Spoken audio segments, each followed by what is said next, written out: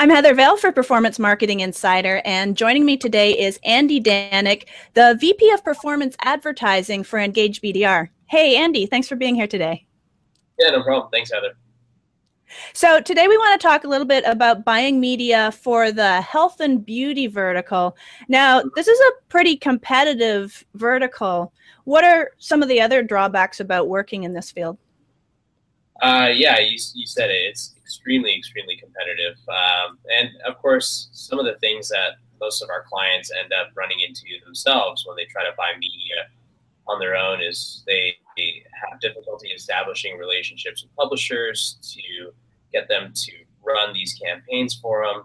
Um, they have difficulty establishing benchmarks for metrics that they need to be backing into, like uh, like a basic CTR or click-through rate benchmark for their pre-sale and landing pages, all of which we're, we're pretty familiar with, we're very familiar with. Um, and then aside from that, buying the media can be very, very, very costly. And that's probably the most important and challenging aspect to for these for these advertisers and affiliates to, to get past it's that initial learning curve, right? So they have to go out and buy all the media sources across different sites and channels and figure out what works.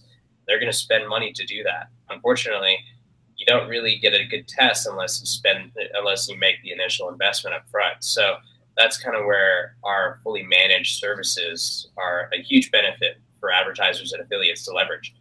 We have okay so sorry. basically, you're saying if, if they're trying to buy their own media on your RTB platform, you're saying that it's just going to end up too much of a monstrosity to even properly test it? Well, no, no, not so much. I mean, it, it's across the board, whether they're buying direct from publishers or through our RTB, or for that matter, through any other RTB, they're going to have to spend money to test. And once they get those learnings, then they, they apply them and then they start scaling their campaigns accordingly that initial learning curve could be $500 or it could be $5,000 in some cases for a brand new campaign that's never been ran across display. It could be even $15,000, $20,000.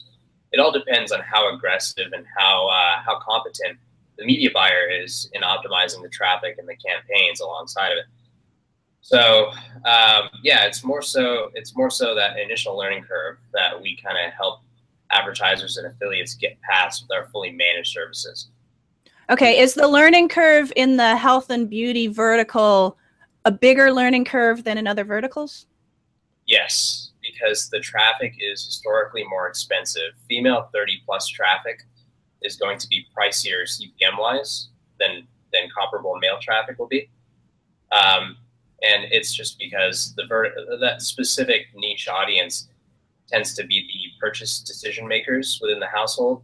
Um, they they generally are the ones that are buying health and beauty products online. Um, so naturally, it'll end up being a little bit more expensive. It's a more valuable audience.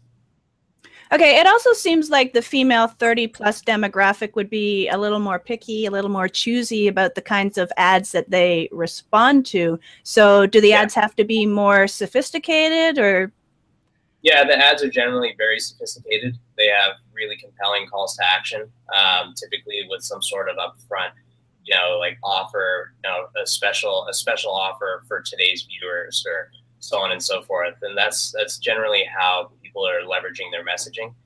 It's something that places a sense of urgency, and and the female female demographic receives it very very well.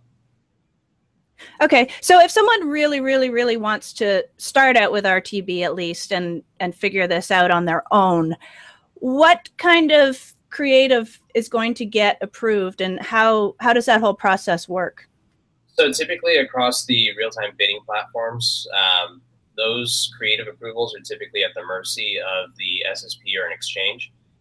Um, the creative that will end up getting approved for those, through those channels will be very highly branded, um, typically non-aggressive with with I, I guess I, I, can say a, a, non-aggressive call to action. Um, and most of the time, they don't end up working all that well. You end up backing into a high cost per click, and you end up collecting a very little bit of data because you don't get a ton of clicks for the for the money. Whereas when you're leveraging direct buys through our fully managed side, we already have relationships with our publishers, really great relationships. They give us a lot of flexibility in what we can and can't run, um, all of which 100% is going to be approved by the publisher beforehand. We don't have to worry about things getting paused after it gets launched and approved and so on and so forth. So the, the traffic is going to be very, very consistent. Okay, so basically, you're saying that the demographic requires a more sophisticated ad and an aggressive call to action, and yet what the publisher typically would approve for someone using an RTB platform is going to be the opposite of that. Yeah, However, gonna, but you can do it with the managed platform, right? Yeah, it's going to be pretty heavily dumbed down. Yeah, with the managed okay. platform, we have a little more leeway. I mean, we've spent hundreds of millions of dollars with a lot of these publishers that we leverage across our our fully managed buying platform. So they give us a lot of flexibility in what we can run.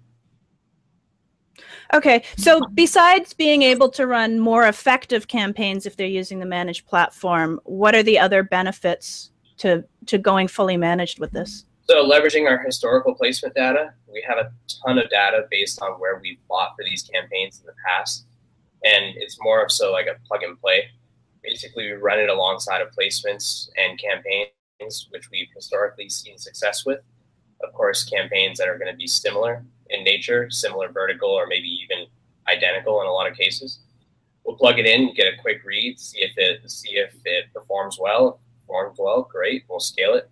If it doesn't, then we'll isolate and pinpoint a few areas of improvement, and these are pretty easy to spot since we understand how well these how these campaigns perform on the back end. We understand what a a basic CTR benchmark should be. Uh, a basic pre-sale pre-sale page CTR, CTR benchmark should be a conversion rate benchmark, and so on and so forth. And once we pin down what aspect of the conversion funnel is lacking, we can help show show the advertiser or affiliate how to improve it. Okay, so what kind of budget is required to start out with a managed campaign? Uh, typically 25k, uh, but we do offer perform inside viewers um, a, uh, a, little bit of a, a entry discount um, to help lower that barrier to entry. Um, it, it, all really depends on the campaign, of course. Now, if there's a campaign that's going to need a lot of testing up front, and it's going to need it, it's never been tested across display, yeah, we're going to have to spend some more money. So one of those campaigns may cost more than ten or fifteen thousand dollars to test, whereas something that's already fully polished that's been running across other display channels and it's a matter of just plugging it into our platform and leveraging our publishers to extend their reach, something like that, we can get started with a much smaller initial commitment. Okay, so it seems like a pretty hefty advertising budget. How long do you expect the advertiser to wait before they see a return on that? Uh, typically, once we start testing, we spend around 500 to 1,000 bucks a day for these verticals. Uh, we'll test for around a week and then have enough data to either go back and start scaling placements or we'll go back to the advertiser and have them optimize any areas which need optimization. Um, so usually a week to two weeks. It also depends on how quickly the advertiser can move on their end. Um, if they're quick to get it knocked out uh, for as far as any of the creative optimizations, then we can go back live and continue to scale.